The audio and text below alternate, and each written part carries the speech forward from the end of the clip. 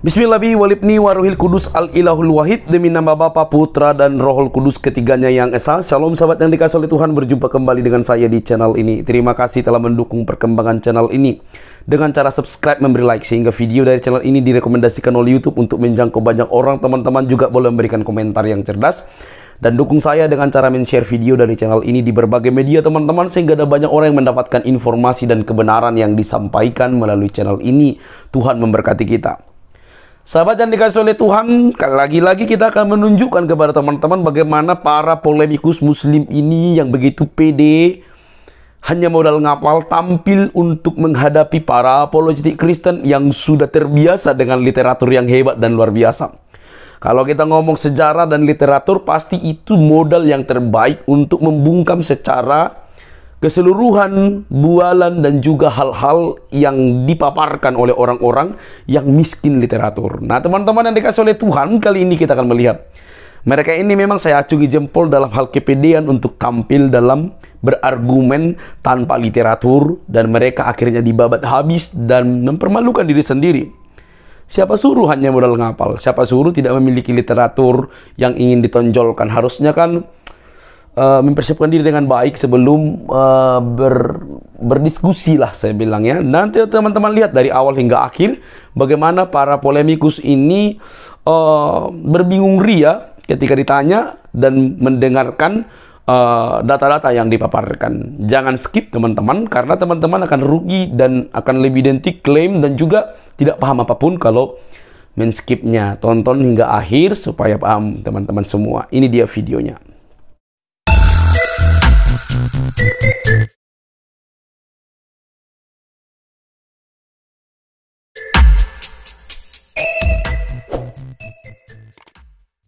Tafsirnya ngomong apa Pak? Kalau surah Maria ini Pak, bagi apa? Eh, itu makanya Bapak ini salah. Makanya saya tanya, itu kan bagi kami. Saya tanya balik ke Bapak, gimana maksud konsep menurut Yesus, bukan menurut Islam. Nanti kan nggak nyambung Pak.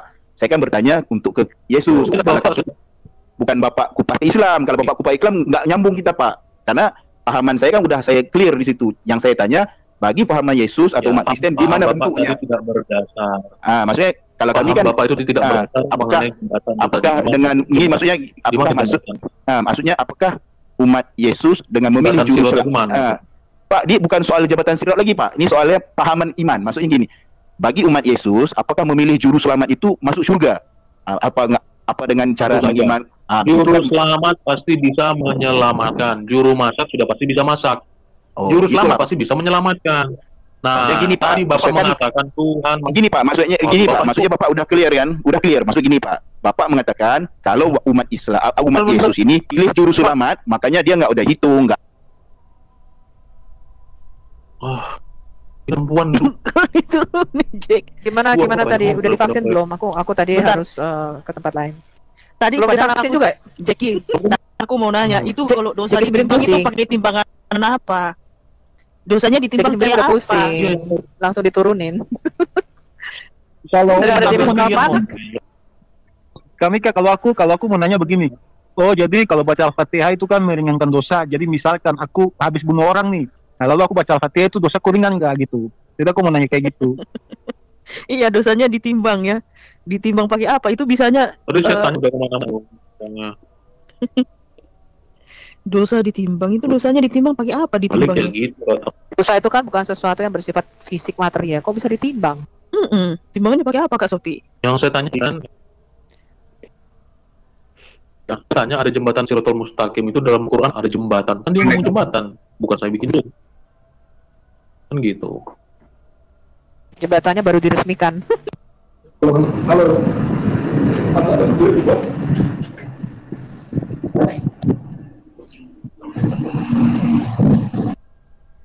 Oke, okay, uh, Dadan.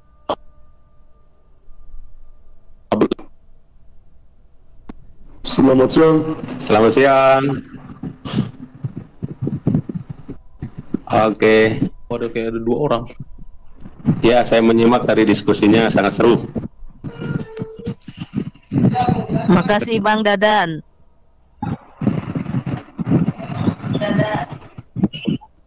Ya, baik. Nah, sedikit klarifikasi ya berkenaan timbangan-timbangan amal itu karena memang di Islam itu ada namanya timbangan amal kebaikan. Karena perbuatan manusia ini akan dihitung kebaikan-kebaikan dan keburukannya, lalu nanti dihisap, arti hisap itu diperhitungkan. Nah, dalam keyakinan Islam memang ada di situ. Tapi timbangan itu bukan bahasa manusia yang bisa kayak timbangan raca begitu.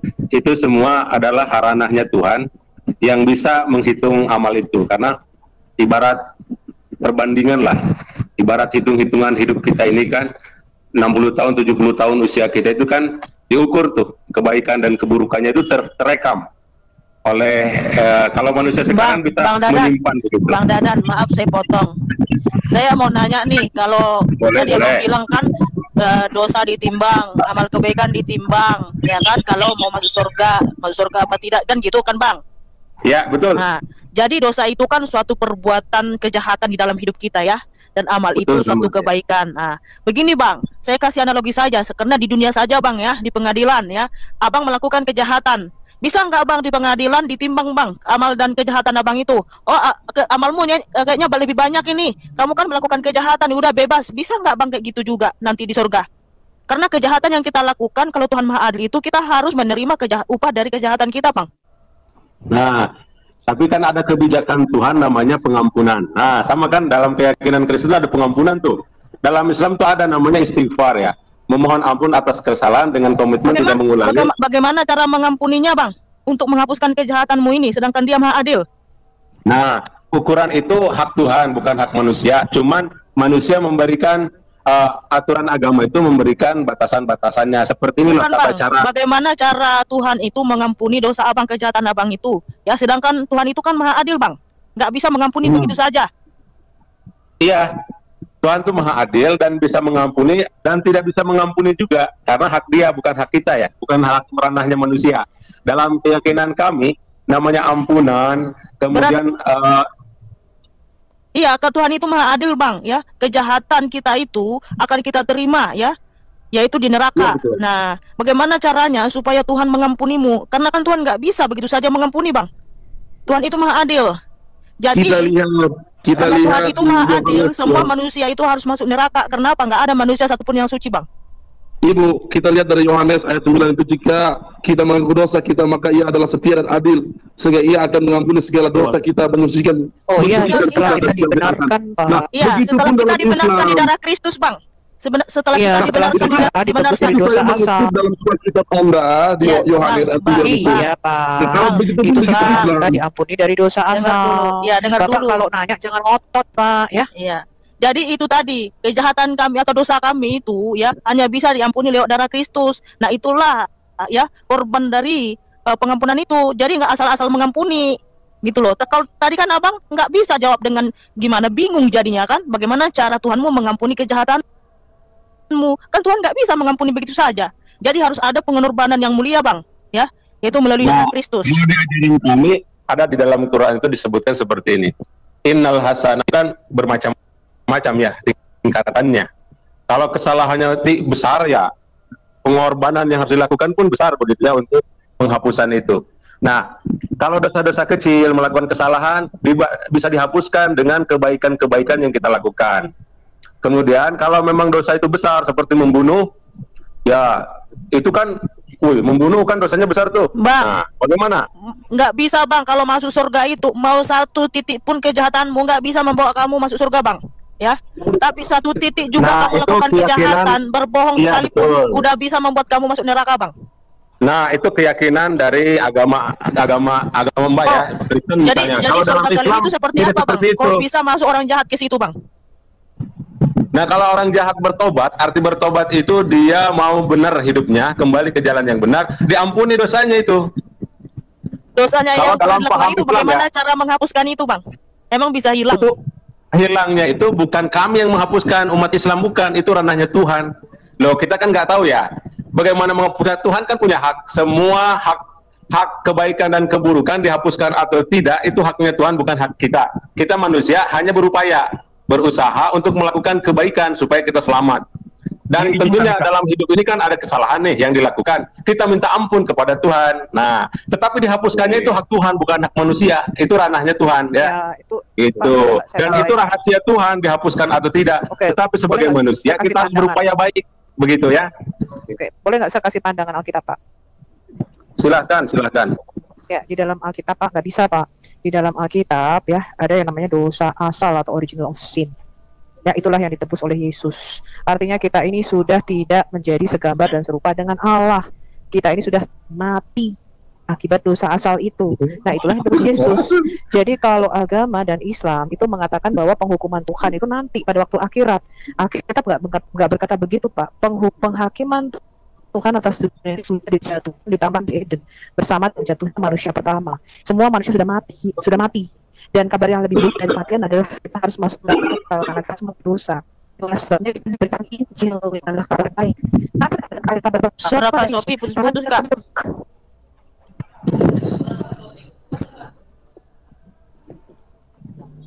Iya masih Iya. kayak nggak jelas suaranya kak. Kayak Pak Jeki gitu tadi. Mau putus-putus Ya, suaranya. yang lain dulu deh, sinyalku, sinyal. Ya, mungkin aku sedikit aja Pak. Jadi begini Pak, Nah, kita bahas pengampunan ya. Eh, tapi saya minta eh, saya tutup Alkitab, Bapak tutup Al-Quran dulu. Gitu Pak ya, sama-sama tutup kitab kita dulu. Nah, saya ada ilustrasinya kayak begini Pak. Jadi kita berdua sama-sama tutup kitab kita Pak, soal eh, pengampunan. Nah, eh, Bapak, Pak Dadan ini naik motor. Nah, kebetulan Pak Dadan tidak memakai helm, tidak membawa SIM dan STNK. Nah, ketika di jalan ada sweeping, ada rahasia dari polisi lalu lintas. Lalu Pak Dadang dirahasia. Nah, Pak Dadang dinyatakan, Pak Dadang ditilang, dinyatakan bersalah karena tadi Pak Dadang tidak memakai helm, tidak membawa SIM, dan tidak membawa STNK. Nah, dari hasil tilang, tilang tersebut, Pak Dadang akan disidang untuk tilangan tersebut satu minggu kemudian. Nah, jadi satu minggu kemudian Pak Dadang nanti disidang soal penilangan tadi, itu hukum di Indonesia Pak. Nah, selama satu minggu itu, sebelum Pak Dadang disidang, Pak Dadang hidupnya tuh berbuat baik terus lah. Pak Dadang beramal, Pak Dadang eh, membantu fakir miskin, membantu saudara-saudara Pak Dadang di Cianjur. Eh, pokoknya Pak Dadang berbuat baik-baik lah. Seminggu itu full Pak Dadang berbuat baik. Nah, ketika seminggu waktu sidang, Pak Dadang diperhadapkan di sini. Ya, dari bukti-bukti yang didapat bahwa Pak Dadang salah karena tidak memakai helm, tidak membawa STNK, dan tidak membawa SIM. Pertanyaan saya, apakah perbuatan Pak Dadang yang baik selama seminggu itu bisa melepaskan Pak Dadang dari tuntutan tilang tadi? Tidak, Pak. Silakan dijawab. Kita tutup eh, tutup sam- sama-sama tutup kitab, Pak. Jadi saya tutup Alkitab, Bapak Dadang tutup Al-Quran, kita jawab logika aja dulu. Jadi silakan Ya, dijawab, Pak. baik. Pertanyaannya- Itu logika-logikaan ya. Ini logika-logikaan manusia. Baik. Nah, itu bisa dibebaskan dan bisa tidak tergantung eh, keputusan di hakim sidang. Kalau hakimnya berbuat baik dengan alasan saya begini-begini, dia senang dengan alasan itu, ya keputusan di tangan hakim kan. Oh nggak apa-apa dibebasin, bebas gitu loh. Kalaupun hakimnya tidak, tetap harus mendapatkan hukuman ya, tetap dihukum. Kan itu ada kebijakannya hakim berarti. Kadang juga kita ketika sidang ya dibebaskan begitu aja, ya sudah ketika kita memberikan alasan dan dibenarkan alasan itu, dia akan bebaskan. Itu kan keputusan itu di tangan hakim bukan di tangan saya. Tetapi saya tugasnya menjelaskan alasan-alasan gitu kan. Dan ketika diterima, kadang dibebaskan, kadang juga tidak. Nah, itu kan keputusan itu di tangan Pak Hakim ketika sidang. Nah, di situlah kebijakannya Pak Hakim. Walaupun kita sudah mengutarakan kalau dia sudah tidak suka, sudah tetap didenda, nah, tetap dikasih sanksi. Ya, kita terima sanksi itu memang kita eh, kesalahan kita yang kita lakukan. Begitu. Ya begini Pak, tapi kenyataan yang terjadi karena pengadilan Nah, kenyataan yang terjadi Indonesia gimana dalam sidang? Ya, bentar Pak, karena eh, keadilan pemerintahan apa Indonesia ini harus adil dalam hukumnya, tetap Bapak akan dikenakan bayaran tilang. Itu kenyataan Pak. Nah, yang tadi Bapak menjawab ini kan saya bilang itu perumpamaan logika, tapi harus kita kaitkan dengan Kan dalam kenyataan. kenyataannya, dalam kenyataannya hukum itu kok me- apa istilahnya kebijakan itu kan di tangan Pak Hakim. Walaupun kadang itu aturan yang ditetapkan, kan itu logika-logikaan ya dalam Ya, real- bentar. realitas hukum yang ada. Bentar, Pak, Dadang. Nanti aku tadi Pak Dadang ngomong kan aku diam. Jadi eh, ini nanti aku persilakan dulu Pak. Ya itu kan asumsi Pak Dadang. Tapi kenyataannya hal itu kenyataannya seperti itu kok. Tidak, kenyataannya selalu kan Bapak Ah. harus disuruh bayar tilang. Kenyataannya kan Bapak tetap harus disuruh bayar tilang. Entah Bapak mau mau mengatakan bahwa Bapak eh, Bapak Pak sedang beramal atau apa pun, tetapi kenyataan di lapangan Bapak telah melanggar peraturan lalu lintas. dan peraturan lalu lintas itu mengharuskan Bapak harus membayar tilang.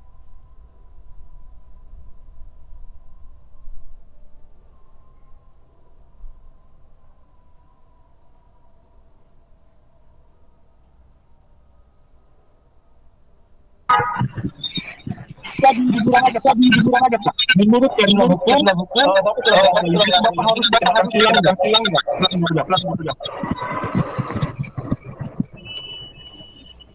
Apa yang ribut? Apa yang ribut ya? Ya Pak Dadang, ya Pak Dadang. Pak Dadang gimana Pak Dadang? Gimana Pak Dadang? Menurut menurut keadilan, keadilan ini saya tidak menanyakan menanyakan kebijakan. Kan saya kan saya membahas. Jadi keadilan yang keadilan yang di persidangan itu Pak Dadang harus dikenakan harus dikenakan tilang akan tilang bayar tilang bayar tilang. Jawab itu dulu Pak.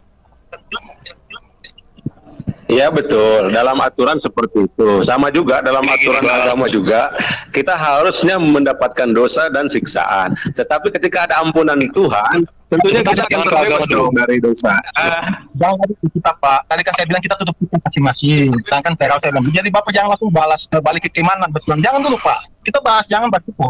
Nah, jadi konsekuensi pertama Pak Dadang kita harus dikenakan biaya, eh, bilang kan, karena karena bersalah. Nah, tetapi kenyataan di persidangan itu Pak Dadang tidak mempunyai uang. Nah, tidak mempunyai uang untuk membayar tilang. Nah, ini hakim kan dia dia harus adil terhadap hukum. Ya, silakan. Pak.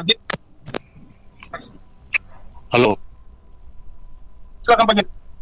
Tuh, ini suara saya, suara saya kedengaran nggak ini? Dengar, dengar, dengar. Oke, eh, jadi lagi. Itu, Suaramu itu, kurang jelas, Pak, dari dengar suara saya enggak? Jeki, suaramu kurang jelas. Aduh. Ini kenapa ini? Apa HP-nya kepanasan kali itu, Jack? Ini kenapa? Jelas belum sekarang? Hah? Halo? Coba, coba. Ya, gimana kan? suara kamu Bro Jeki? Waduh, repot ini. Oke, eh, kayak gini udah gini, bagus sih, kayak gini udah bagus. kan masih- nanti ini. saya, saya pas tadi barusan katanya. Gini, padahal masih dengar suara saya? Masih Oke oke oke. Nah, saya co- tolong dengar Pak ya. Saya bawa kasusnya lebih berat itu dari yang Bang Mozart bawa itu. Ya. Ini ada seorang pembunuh, Pak. Orang pembunuh, seorang pedofil, pemalsu uang. Dia dia juga adalah seorang yang seorang narkoba, dia pengedar itu, Pak. Berat ya hukumannya, Pak ya. Berat sekali itu. Nah, dia ke pengadilan, Pak. Ya, dia ditangkap dan dia masuk kepada ke pengadilan. Ya, di pengadilan. Kemudian orang ini sujud-sujud di depan hakim. Dia mohon ampun, mohon ampun, mohon ampun, mohon ampun. Ya, Nah, sementara itu keluarga korban lagi nonton persidangan, Pak. Oke, lagi nonton persidangan. Menurut Bapak, ya, menurut Bapak, ini kita ke hukum dulu, Pak ya. Jangan jangan ke jangan ke kitab dulu, jangan. Karena kalau ke kitab kadang ada yang langsung lupa ingatan itu. Menurut hukum yang berlaku, ya, bisa nggak orang ini kemudian tidak dihukum, Pak? Jadi kalau kalau hakim yang baik itu dia harus menghukum orang ini atau kemudian karena melihat orang ini sudah sujud-sujud, sudah nangis-nangis, ya udah karena kamu yakin ya, kamu tobat ya, kuampuni ya, yakin ya berubah ya, oke, kamu di vonis bebas. Bisa nggak seperti itu, Pak?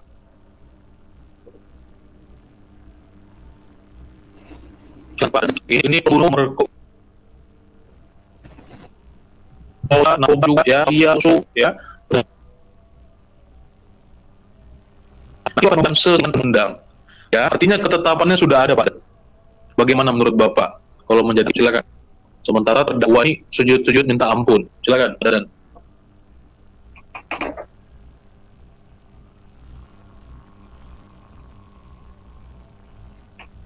Pak Dadan, silakan. Baik, kalau aturan-aturan hukum secara di Indonesia ini ya seperti itulah yang berlaku ya.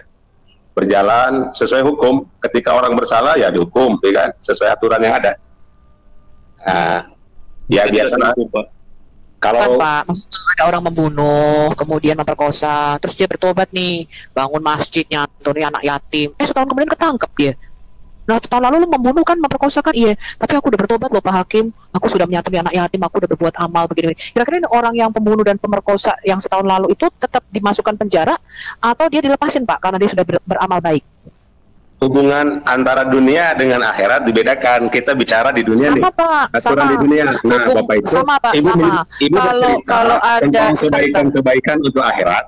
Tetapi Bukan, bukan, hukum Pak. yang berlaku Justru- perlakuan justru- itu yang hukum di Justru dunia. anehnya, begini Pak, kalau di dunia saja Yang namanya pembunuh pemerkosa tidak bisa dibayar dengan amal baik, apalagi Tuhan, Pak. Kalau Tuhan tidak menghukum dosa, ya, bahkan hanya Adam yang makan buah saja sudah langsung berdosa dan mati di dalam Alkitab kita. Di dalam Alkitab itu nggak ada dosa besar, dosa kecil, Pak. Ya, Tuhan tidak berkata kalau kamu dosa besar hukumanmu uh, set, uh, apa mati, kalau dosa kecil setengah mati, kalau dosanya uh, kecil sekali dia cuma pingsan. Nggak ada, Pak dosa sekecil apa pun sama hukumannya mati. Di dalam Alkitab kami nggak ada yang namanya dosa besar. Ya, dosa kalau kecil. dalam Tetap aturan mati. agama- Enggak, ya, Pak, saya belum selesai ngomong, Pak. Supaya Bapak supaya Bapak jelas dulu. Ya, supaya Bapak ngerti dulu konsep Alkitab. Kalau di dunia ini saja tidak bisa dibayar dengan amal baik, apalagi nanti Pak di akhirat tidak mungkin dosa itu dibayar dengan amal baik. Makanya konsep dosa di dalam Alkitab kita adalah hutang. Bapak baca Matius 18, Bapak baca Matius 6. Konsep dosa di dalam Alkitab adalah hutang. Makanya ketika Yesus di atas kayu salib, dia mati bagi dosa kita, Rasul Paulus berkata apa? Telah dilunaskannya harganya telah dibayar lunas hutang dosa kita. Jadi kita ini berhutang kepada Allah, Pak. Ya, karena kita ini semua makhluk berdosa. Yang bisa kalau kalau Alkitab mengatakan, Pak, semua manusia telah jatuh ke dalam dosa. Artinya kita semua punya hutang. Ada yang hutangnya 1 M, ada yang hutangnya 12 M, ada yang hutangnya 500 juta, tapi sama-sama punya utang. Dan itu nggak bisa dibayarnya pakai uang. Karena dikatakan dibayarnya pakai darah, nyawa dibayar nyawa. Darah dibayar darah. Nah, kalau Bapak berhutang, saya berhutang, nggak mungkin saya bayar utangnya Bapak. Oh, saya aja masih ngutang. Dan Bapak nggak mungkin bisa bayar utang saya. Oh, Bapak aja masih ngutang. Ya, nah karena semua orang masih berhutang, Bang Jeki berhutang karena Bang Jeki punya dosa, Mikana berhutang, Mikana punya dosa, Pak Musat berhutang. Yang bisa membayar hutang di dalam Alkitab adalah orang yang tidak punya hutang alias orang yang tidak punya dosa. Itulah sebabnya Alkitab mengatakan Yesus nggak boleh lahir dari benih manusia, sperma manusia yang mengandung dosa asal. Itulah sebabnya dia lahir dari perawan. Karena dia tidak mengandung dosa asal, maka darah Yesus satu-satunya darah yang berkuasa menebus dosa Bapak dan saya. Kalau darah Bapak sama darah saya ke PMI aja belum tentu dipakai, Pak, bisa ditolak. Tapi Yesus berkata begini, Pak, inilah darahku yang dicurahkan bagimu dan bagi banyak orang demi pengampunan dosa. Kenapa darahnya suci? Karena di dalam tubuh Yesus, kemanusiaan Yesus tidak mengandung benih manusia. Dia tidak lahir dari sperma yang hina. Dia tidak lahir dari persetubuhan laki-laki dan perempuan. Sebab dia firman Allah itu sendiri yang turun ke dalam rahim Maria mengambil mengambil wujud manusia untuk menebus kita. Dan di dalam tubuh kemanusiaannya dia nggak sama dengan Bapak dan saya. Bapak dan saya darahnya nggak kepake. Yesus berkata apa? Darahku menebus dosa. Inilah darah perjanjian baru. Bapak baca Alkitab kita. Yesus berkata, inilah darahku, darah perjanjian baru yang kekal, yang ditumpahkan bagimu dan bagi banyak orang demi pengampunan dosa. Jadi kalau Bapak nggak percaya kepada pengorbanan darah Yesus, Bapak tidak mungkin keluar dari neraka. Bapak tidak mungkin keluar dari surah Maryam ayat 71, Pak. Karena kita tuh nggak bisa nebus dosa kita sendiri, Bapak aja masih utang. Bagaimana mungkin utang ini bisa dibayar? Nggak bisa, Pak. Ya, nggak bisa. Yang bisa menebus kita, yang bisa menjadi juru selamat hanya Tuhan itu sendiri yang nggak punya dosa. Itulah sebabnya Yesaya 40 ayat 3 mengatakan Yahweh Tuhan akan turun menjadi manusia. Dan kedatangan Yahweh akan didahului oleh seorang utusan, yaitu yang berjalan dalam roh dan kuasa Elia. Dialah Yohanes Pembaptis yang lahir enam bulan mendahului kedatangan Tuhan kita ke dunia. Itu Pak, Natal nanti kita peringati nih kedatangan Tuhan Yahweh ya. Yahweh menjadi manusia itu sudah dinubuatkan dari sejak ribuan tahun yang lalu. Ya, nanti kita akan memperingati hari kelahiran Yahweh Tuhan kita. Pak ada saya bilang udah clear seperti itu. Pak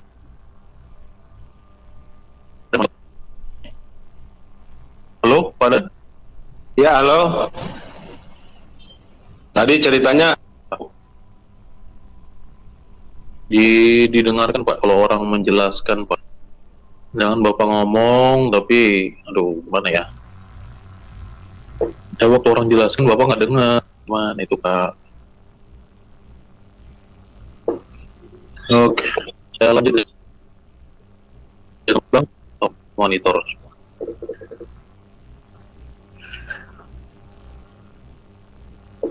Oke, mau Haji silakan. Halo, selamat siang. Assalamualaikum. Salam, silakan. Nah, Mbak Sofi. Saya tanya Mbak Sofi. Kalau an- Anda tadi berkata Natal itu memperingati kelahiran Tuhan. Di mana itu, Mbak Sofi? Betul. Lukas 1 Bapak bisa baca, Matius 1 Bapak bisa baca.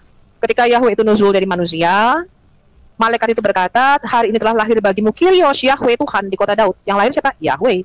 Bapak bisa baca Yesaya 40 ayat 3. Bapak punya Alkitab nggak di situ? Saya bukain ayatnya. Saya Muslim, Mbak. Yang saya percaya, saya akui itu cuma kitab Al-Quran. Oh, bukankah Bapak harus beriman kepada kitabul?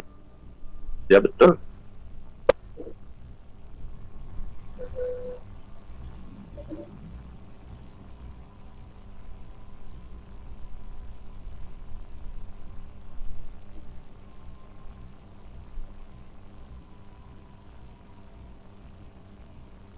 Halo, kok suara Saya pikir sih, Bang mau kaji, Moko Aji. oh, mau kaji. Saya nggak- lagi. Bro Moko Aji. Mau aja ada suara? jam 2 monitor Bro Moko Aji kehilangan sinyal kayaknya. Oh, ya ya, biasa itu. Oke, uh, ya thank you teman-teman yang sudah bergabung baru bergabung ya untuk partisipasinya yang sudah play dengan saya ya. Oke, kita dulu ya teman-teman ya. Teman-teman ya.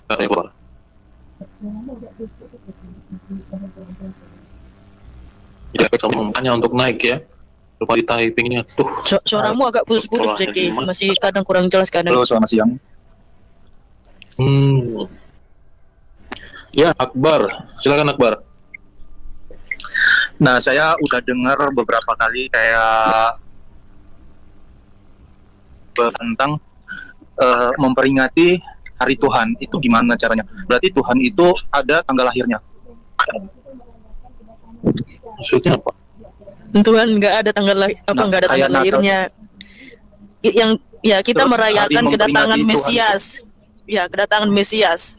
Nah, kalau Tuhan itu sudah datang ke dunia dalam rupa manusia ya, sebagai Mesias, itu artinya kamu menjadi memiliki hidup kekal yang tadinya kamu hanya manusia mati. Jadi kita harus bersuka cita dong ya. Karena kita tidak selamanya terkutuk di dalam debu kematian. Karena Tuhan sudah datang mengangkat kita, Bro. Kita harus suka cita. Iya, kita ngomongnya ngomong santai ya, ngomong eh, kita Iya, kita santai kok. Iya, maksudnya eh, kita nggak menjelekan eh, kaum Kristen, kita juga nggak menjatuhkan ke umat Islam. Kita da- jadi saling eh, tahu gitu, saling eh, belajar tentang agama. Iya, pertanyaanmu apa tadi? Udah dijawab kan? Nah itu, eh iya iya benar. Terus eh, kalau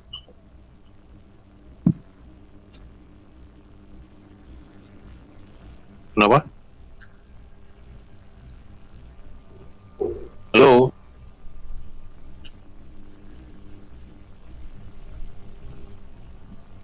Ada suara nggak ini ya, teman-teman? Si Akbar lagi sinyal Akbar ini. Eh, Akbar gimana Akbar?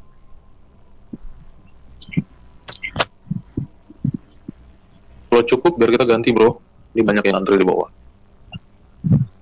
Oh Pak Adet Akbar bahasa Ibrani-nya apa sih artinya Akbar, Ikus. Jangan dipancing lah.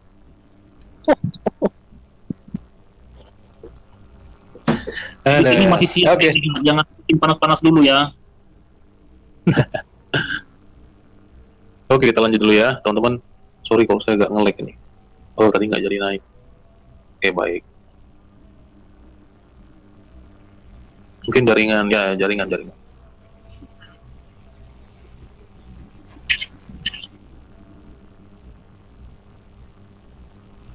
Oke. Selamat siang Ean.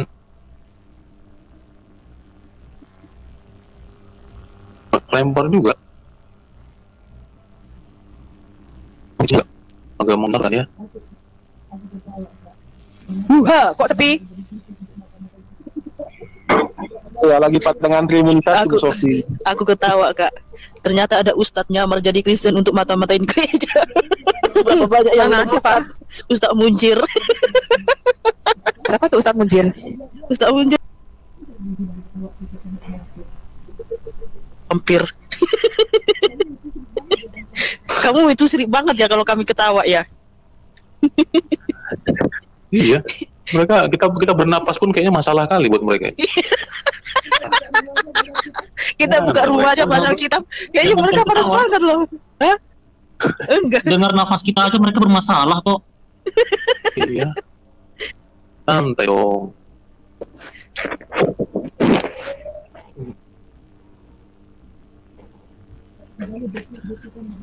Selamat datang Yegar.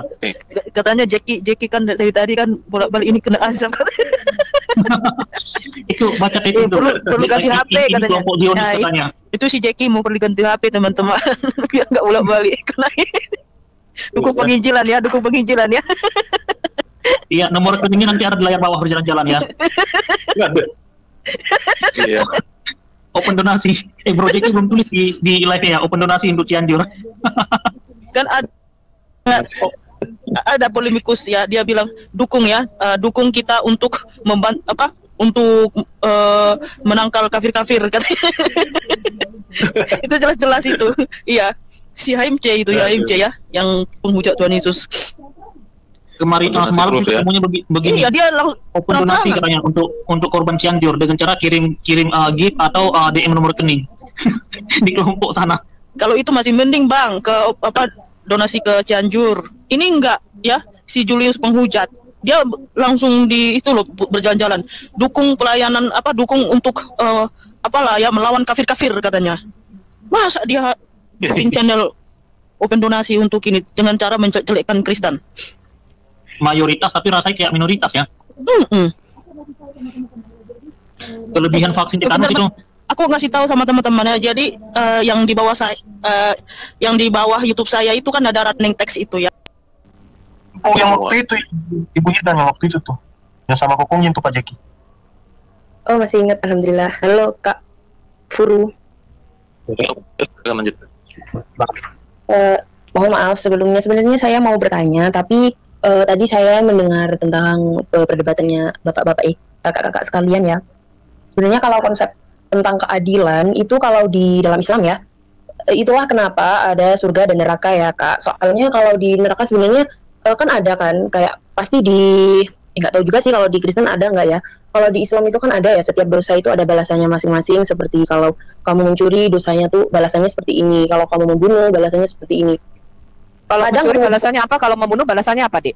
Eh, sebentar kak, mohon maaf ya, saya hanya membalas se- sesuai batas kemampuan saya. Iya, ya. Kamu kan mengklaim. Kamu katakan ah, kalau mencuri balasannya begini, kalau membunuh aku tanya apa? Berarti kan kamu gini loh. Kalau aku ya, aku tidak akan mengatakan sesuatu yang aku belum tahu dengan pasti. Gak berani aku. Jadi kalau aku Iya. mengatakan sesuatu, aku udah pasti tahu jawabannya.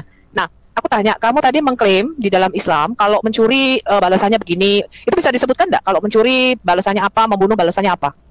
Mohon maaf untuk Kak Sofi, mohon diam dulu ya, biar saya eh, ngomong dulu sampai selesai. Nanti kalau saya ngomong sudah selesai, baru Kak Sofi boleh berbicara ya. Kan ini kan diskusi ya. Baik, ingat ya, itu PR saya buat kamu ya. Ya, oke. Jadi begini, kalau eh, misalnya kalau di pengadilan itu kan ada yang eh, pejabat, misal pejabat yang memiliki kasus itu kan bisa menyuap siapa namanya menyuap hakim. Tapi kan tadi pertanyaannya kakak-kakak sekalian, apakah bisa apa namanya, me, apa namanya tadi, me, apa menebus dosa ya gitu. Maksudnya kalau keadilan Allah itu, menurut saya dari yang saya dengar dari guru saya, itu ada istilahnya dihukum dulu di neraka, baru nanti dia masuk surga. Maksudnya itu begini, misal di dunia itu setiap manusia pasti pernah melakukan kejahatan entah itu berbohong dan juga menyentuhnya anak yatim misalnya gitu ya jadi jikalaupun dihukum ya dihukum untuk eh, mencuri itu tadi dan juga dihukum untuk berbohong itu tadi jadi meskipun ditimbang meskipun ditimbang ya ditimbang jika eh, kejahatan lebih besar dari kebaikan yang kejahatan itu tetaplah dihukum. Seperti halnya yang logika tadi misal di eh, di pengadilan ya. Kalau orang membunuh itu pasti dia mem- eh, dihukumnya untuk pembunuhan. Meskipun dia pernah mencuri tapi dia ditangkapnya untuk membunuh dia kan dihukumnya divonis penjara untuk pembunuhan itu bukan untuk pencurian. Kan begitu. Sama juga kalau di akhirat. Makanya itu katanya yang Allah maha adil. Meskipun di dunia tidak mendapat keadilan seperti itu di akhirat pasti mendapat keadilan. Seperti halnya hutang orang kalau punya hutang di dunia dia sulit masuk surga karena dia masih punya tanggungan kepada sesama manusianya gitu kalau soal PR-nya Kak Sofi yang saya harus mencari hukuman mencuri apa huku- hukuman membunuh apa insya Allah nanti akan saya tanyakan kepada guru saya oke kalau Berarti begitu, kamu tadi berkata sesuatu tapi kamu nggak tahu dengan pasti ya? Apa yang kamu Ya, omongkan kamu tidak menguasai materinya? ya kan kalau hukuman apa itu kan hak- haknya Allah Kak Ter- Bukan, ya bukan, bukan. terserahnya Saya nggak tanya itu hak Allah. Bukan, saya nggak tanya itu hak Allah. Kamu memberikan satu statement, tapi kamu nggak tahu nggak nggak menguasai materinya ngerti nggak saya? Jadi presentasimu yang panjang tadi kamu nggak ngerti dengan pasti detailnya. Ya Mbak? ya, tahu. maksudnya gini loh kak. Kita kan tahunya ya berarti kamu nggak tahu jawabannya. Ya saya tanya berarti kamu tidak tahu jawabannya atas klaim kamu tadi? Mencuri hukumannya ini membunuh hukumannya itu kamu nggak tahu? Ya kalau Nggak itu tahu hukumannya apa? saya kurang tahu ya. Iya, berarti kamu apa yang kamu katakan kamu tidak pelajari, kamu hanya dengar dari ustadzmu. Nah, kalau saya Oh. enggak, saya terjun di dunia apologet bukan dengar-dengaran pastor. Saya baca Alkitab. Saya mempelajari Alkitab. Makanya kalau ada orang Kristen yang kayak tadi, hanya misalnya setahun dua kali, Natal sama Paskah ke gerejanya, atau sama sekali nggak pernah baca Alkitab, jangan berdiskusi Alkitab dengan saya, karena saya bacanya satu kitab per hari. Jadi kalau saya belajar Alkitab itu 6 sampai 7, 7, 7 jam. Jadi kalau yang bacanya cuma lima menit, apalagi bacanya cuma satu ayat per hari, jangan coba-coba berdiskusi dengan saya. Hmm, baik. Jadi kamu mengatakan sesuatu materi yang kamu tidak kuasai, Dik. Oke sudah kak Sofi Jadi, jadi gini, kamu tadi presentasimu panjang melebar tadi bisa kita tanya, atau memang kamu mengatakan, oh, aku nggak tahu apa-apa, nggak bisa nggak bisa kita tanya. Hmm, saya kan hanya sebenarnya saya hanya sedikit menjelaskan sesuai dengan kemampuan saya ya tentang tadi kan kakaknya bertanya tentang konsep eh, keadilan menurut Tuhan yang katanya Tuhan itu tidak bisa apa namanya Oke. dosa. Boleh nggak aku tanya sesuatu? Boleh nggak aku tanya sesuatu? Jika saya tahu akan saya jawab, namun jika Ya. saya tidak bisa menjawab, mohon maaf. Iya, saya tanya sesuatu. Apa itu koda, apa itu kodir di dalam pemahaman Islam kamu? Bisa kamu jelaskan nggak? Kalau kodok dan oh kodok dan kodar, kodok dan kodar itu eh, gimana ya? Saya sebenarnya kurang terlalu memahami hal itu sih. Kalau kakak mau tanya tentang eh, penjelasan itu lebih detailnya, sepertinya kakak harus Kamu, kamu, saya tanya dulu, kamu baca Al-Quran nggak? baca. Alhamdulillah Tahu artinya nggak? Ya oh, tahu sih kamu jarang baca Quran. Ya, Tahu artinya nggak? Yang jarang-jarang kamu baca itu Quran kamu tahu artinya? Ya kalau lihat terjemahan tahu kak. Berarti sudah jarang baca Quran, artinya juga nggak semua tahu gitu ya. Nah ini repot nih. Sama yang lain Iya, dulu iya, deh. iya. Sama yang lain dulu ya, jangan sama saya.